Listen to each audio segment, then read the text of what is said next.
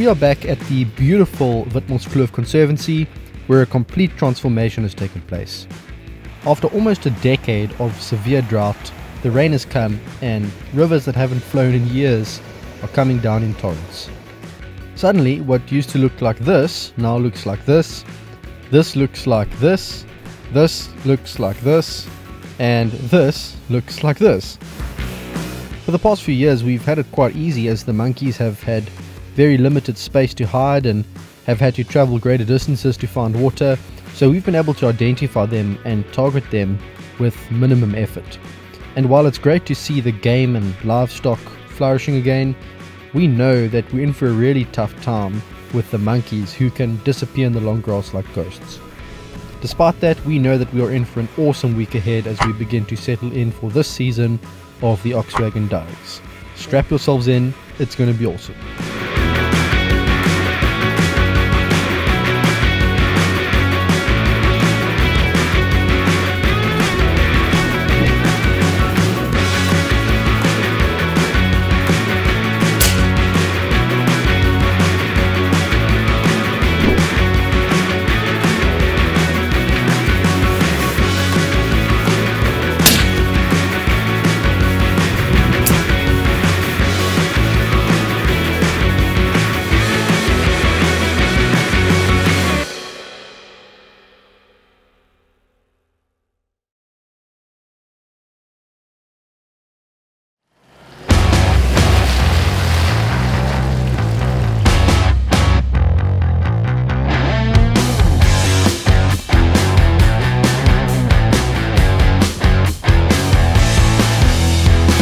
Always a good feeling to arrive back at the Oxwagon camp, and we hardly even recognize this place with all the greenery around us. Of course, we were itching to head out for our first hunt, but our priority was to settle in and get some preparation work done with our rifles. That's how I feel also.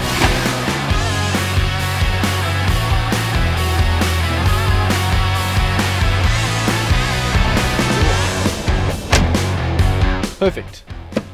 So, um, where do I start? What a transformation. this place looks completely different, um, which is really nice. I have a feeling we're going to struggle a bit from a hunting perspective. Um, the monkeys have so much food now, uh, natural food, that they're going to be up in the mountains and we're probably not going to get many on this trip. But um, man, what a great opportunity for the farmer. Lots of rain coming down, rivers flowing. Um, it's exactly what they needed, so really happy for them. But let's get everything unpacked and let's start settling into our, our home for the next few days. Of course, I can't resist taking a pot shot at an English sparrow, which is a bit of a mismatch for the kind of power output my Impact Mark II is producing. But these birds are invasive and the farmer doesn't want them near the camp. Nothing like some good target practice around the camp. Maybe a, a little bit windy, but when you've got 75 foot pounds uh, at your disposal, then a little bit of wind at that distance doesn't make any difference whatsoever.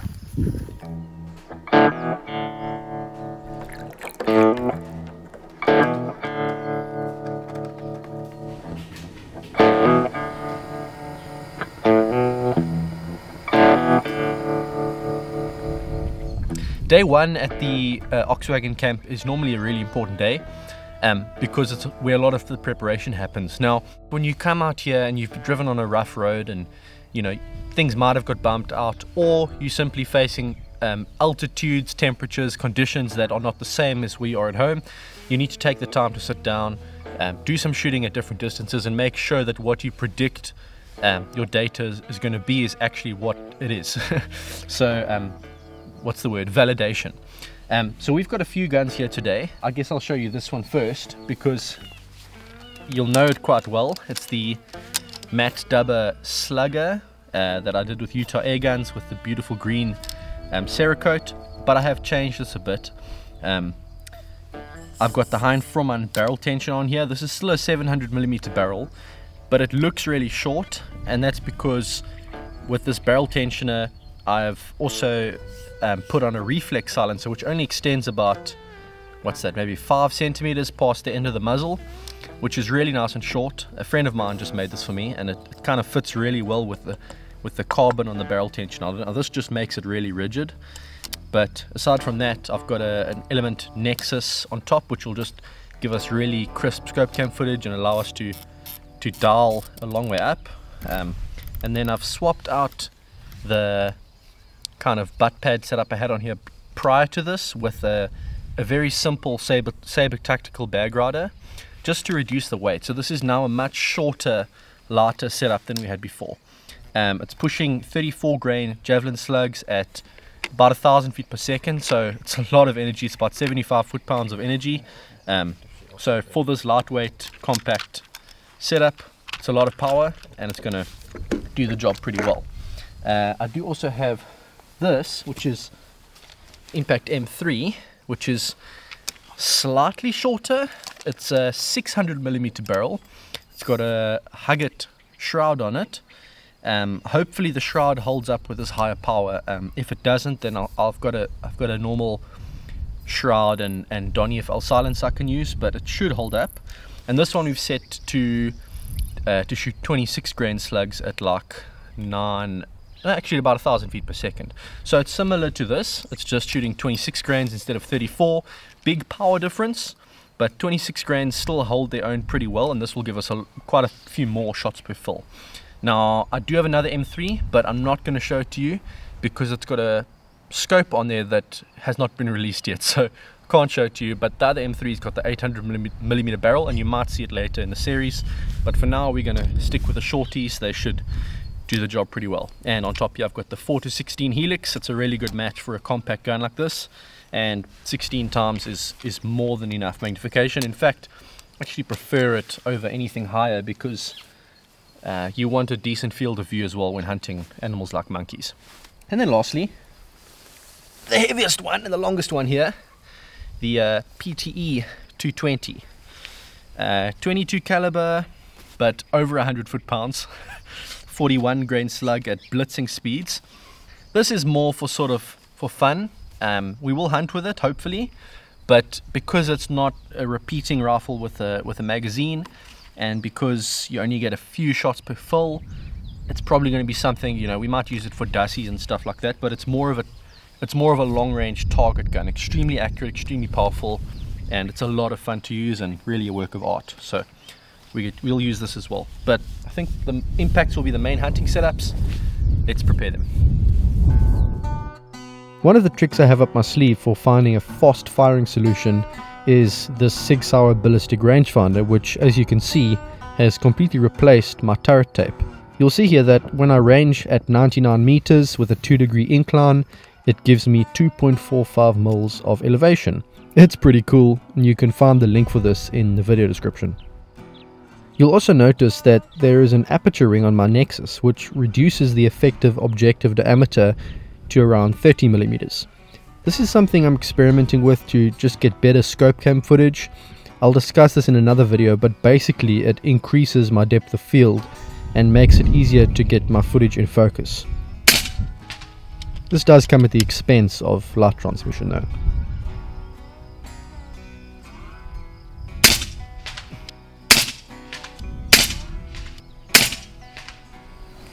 It's accurate.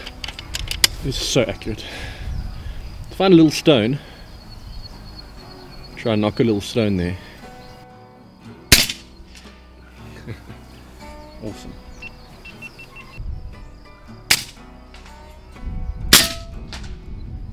I have to say that while the M3 with the 600mm barrel and the other M3 with the 800mm barrel are awesome guns, I think on this trip it's all going to be about the good old green machine. Uh, that Impact Mark II has been indestructible um, and with all these changes it's now not only powerful but also compact. So I'm really looking forward to using this. Um, we just did the calibration with the SIG BDX rangefinder. I ranged 99 meters. It told me to, do, to dial 2.4 mils, dial 2.4 mils and just drilled exactly, exactly, exactly where I aimed. So that's what you want. And uh, these two match as well. Look at those two colors. I think it's a sign.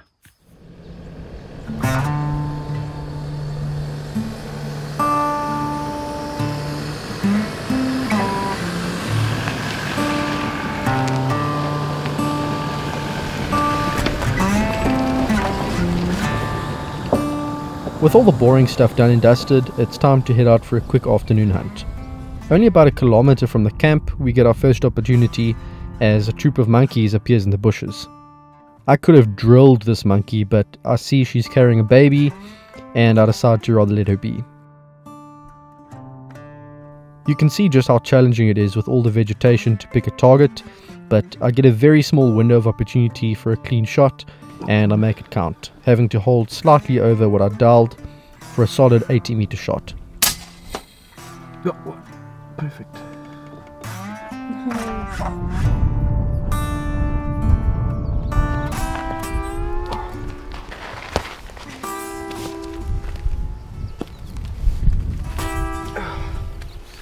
Well, amazingly, uh, first monkey of the trip is down. It's windy today. Monkeys are scarce. It's just so thick that they're probably everywhere, but you don't see them. They they have this thick, you know, leafy vegetation they can hide in, um, and there's no need for them to come towards the farming areas for food because they've got plenty of food up in the mountains. But despite that, um, came around a corner, saw some monkeys in the long grass, um, followed them as they ran. I ranged, uh, I think it was about 65 meters, um, but then they ran a bit further. So after dialing for 65, actually had to hold a bit over, but um, ended up smashing this one. And there you go. First monkey down. Super happy with that, and uh, yeah, maybe we can recover that slug and uh, see how it performed. That'd be quite interesting. But super happy, and uh, hopefully it's a, a sign of good things to come. Monkeys with air guns, very challenging, but glad to get this one down. Yeah, unfortunately, we're not going to get the slug out. Um, it went in the front of the head, out the back. Perfect headshot. Um, could feel the skull is completely cracked as well, so there was obviously quite a lot of hydraulic shock and pressure pushing outwards, but slug passed straight through and we're not going to get it out. Maybe next time.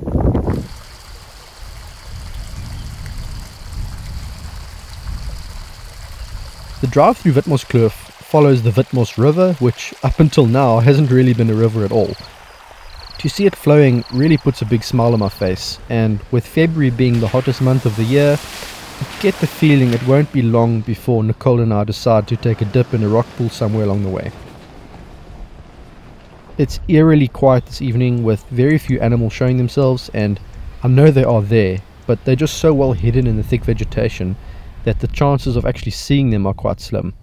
But hey, with views like this, we're happy to just be out here.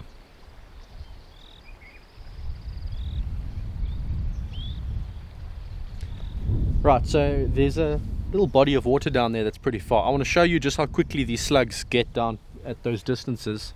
If I range there,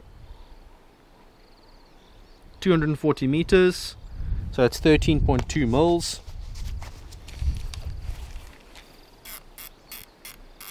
10, 11, 13.2. Now, Nicole, zoom in there on that on that body of water down there. I'm going to hit record, so you can see the scope cam also. I just want to show you how quickly these slugs get down there. You on it? Yep.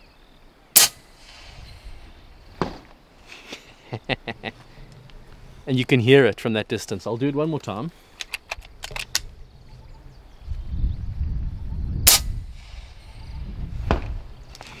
pretty insane.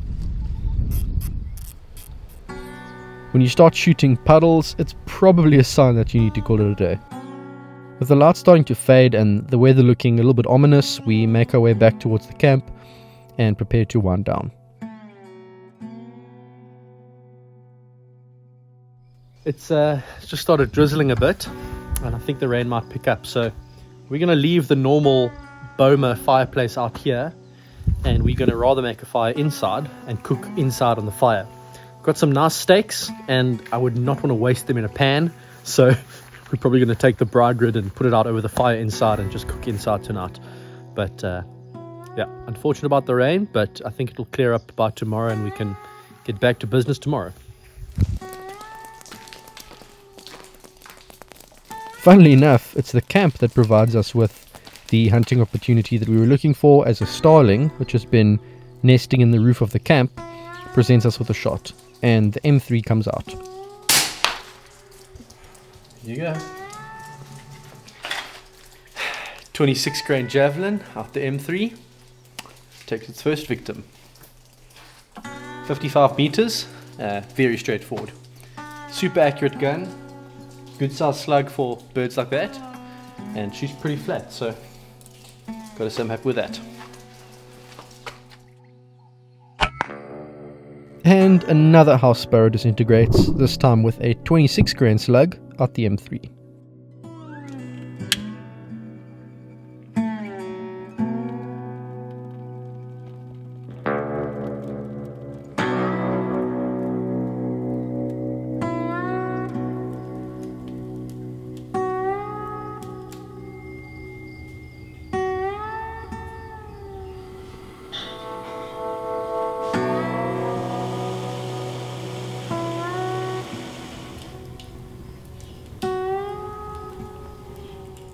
Anton comes over to say hello, and we spend some time discussing plans for the next day. Anton will be taking us out to some new spots to try to get some dassies and monkeys, and of course, we are always grateful for the local knowledge. Right there. With the coals ready, though, it's time to get cooking. Something tells me that this is going to taste great.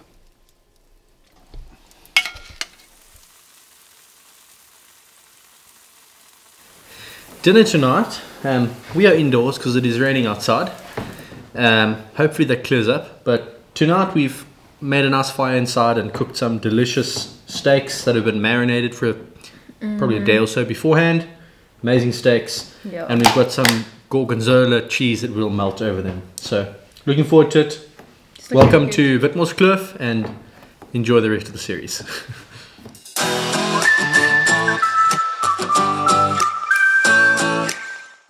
Coming up in the next episode, we'll be heading to some spots we've never visited before with Anton as our guide and taking some fantastic long shots at dassies and monkeys. It's time for the green machine to remind us what it can do.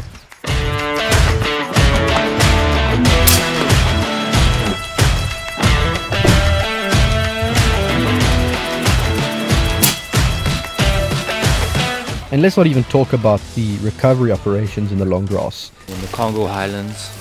That is an adventure in itself. Make sure to subscribe to the channel to stay up to date with new uploads, and we'll see you then.